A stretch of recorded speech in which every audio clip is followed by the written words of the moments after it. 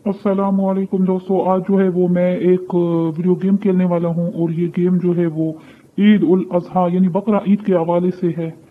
तो अभी ये शुरू होने वाला है जी, इसका देखते हैं जी अब क्या करना है हमने इस गेम में।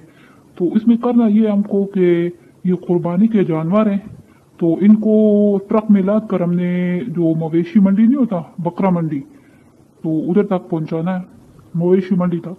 तो बस हम मंडी तकरीबन पहुँच गए हैं जी। ये मंडी आ गया करीब। तो वो सामने जो है, इधर पार्किंग बनाए हुए, इधर हम इन दोनों बैलों को उतारेंगे। ये बैल हमने लोड किया हुआ था। तो अब नेक्स्ट मिशन आता जी, बहुत ही ज़बरदस्त गेम है वधिया गेम है, बहुत ही। मुझे तो बहुत ही पसंद आ रहा है। तो इस दफ़ा जो है, हमने चार दुम्बे चार अदद दुम्बे वो बेड़ नहीं होता बेड़ दुम्बा तो चार अदद दुम्बे हम लेके जा रहे हैं जी, मवेशी मंडी में।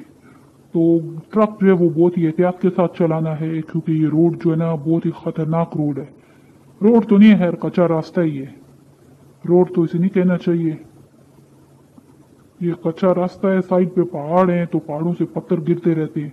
इस वजह से हुकूमत ने पक्का रोड भी नहीं बनाया, क्योंकि रोड बनाने का कोई फ़ायदा नहीं था। वो ऊपर से पत्थर गिरते रहते हैं तो रोड होता तो वो फिर खराब ही हो जाता। तो खैर जी, हम मंडी में पहुँचने वाले हैं। और ये दुम्बे जो है इनको हम उतारेंगे ईद उल अजहा यानी बकरा ईद जो है वो आने वाला है तो इस वजह से लोग धड़ाधड़ जो है वो इधर आ रहे हैं मवेशी मंडी में और कोई बकरा खरीद रहा है कोई दुम्बा खरीद रहा है कोई ऊँट खरीद रहा है अपनी अपनी पसंद के जानवर लोग खरीद रहे हैं तो इस वजह से डिमांड भी बहुत ज़्यादा हो गया है तो कुछ लोग भैंसा भी जो है ना वो भी खरीदते हैं इस वजह से अब हम जो है ना एक भैंसे का ऑर्डर हुआ है जी सही तकड़ा और मोटा भैंसा है जी ठीक है और एक गाय है और एक जो है वो बकरा है। ठीक है जी?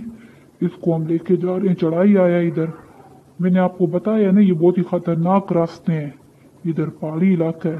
तो अगर आप भी इधर कोई कुर्बानी के लिए जानवर लेने आए तो मैं आपसे कहूँगा कि ड्राइविंग आपने बहुत एहतियात से करनी है जी, ठीक है? क्योंकि बहुत ही खतरनाक रास्ता है ये। कभी चढ़ाई आती है, कभी उतराई आती है तो इस वजह से जो है ना वो मसला हो जाता है। तो ये भैंसा और गाय और बकरा हम लेके जा रहे हैं जी। इसको अभी हम मंडी में पहुंचाएगा। तो कुछ लोग जो है वो भैंसे का गोश्त उनको बहुत पसंद होता है। तो वो इसका डिमांड करते हैं। लेकिन ज़्यादातर दुम्बे का कुर्बानी देता है। मुझे खुद भी दुम्बे का गोश्त बहुत पसंद है, जाती तौर पर। बकरे का और दुम्बे का। भैंस का गोश्त जो है ना, भैंसे का, वो मुझे इतना पसंद नहीं है। इतना लजीज नहीं होता भैंस का गोश्त। तो मंडी आ गया जी। तो वो सामने पार्किंग है, इधर हम इन जानवरों को उतारेंगे और फिर नेक्स्ट मिशन देखते हैं जी क्या होता है। तो उम्मीद करता हूँ आपको ये मेरी वीडियो पसंद आ रहा होगा।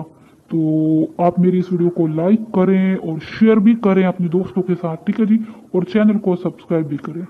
तो इस दफ़ा हम जो है वो पहाड़ी बकरा नहीं होता, वो दाढ़ी वाला पहाड़ी बकरा, छोटे साइज़ का।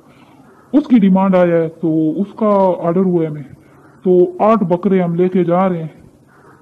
तो कोई बहुत ही अमीर आदमी है, वो मंडी में पहुँचा हुआ, उसने हमको कॉल किया कि आठ तकड़ा तकड़ा पहाड़ी बकरे लेके आओ। तो वो बहुत ही अमीर आदमी है, वो आठ बकरों की कुर्बानी देगा। तो हम आठ बकरा लेके जा रहे हैं पहाड़ी बकरे। बहुत ही ज़बरदस्त गोश्त होता है, इनका मज़े का गोश्त होता है, लजीज गोश्त होता है पहाड़ी बकरों का। तो ये हम पहुँच गए जी, इसी के साथ हमारा मिशन भी हो गया जी कंप्लीट ये रहा जी। कंप्लीट हो गया।